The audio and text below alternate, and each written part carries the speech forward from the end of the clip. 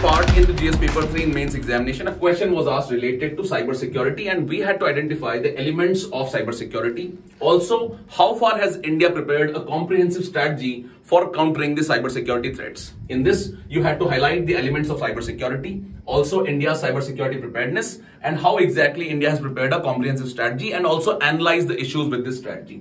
In the mains GS revision classes, we had discussed different kinds of cybersecurity threats that India faces. Also, the security preparedness, that is preparedness, response, and post-attack preparedness against cybersecurity. Also, we had highlighted the preparedness plus the challenges that India faces in terms of cybersecurity. And at the same time, we discussed the national cybersecurity strategy that has been created by Data Security Council.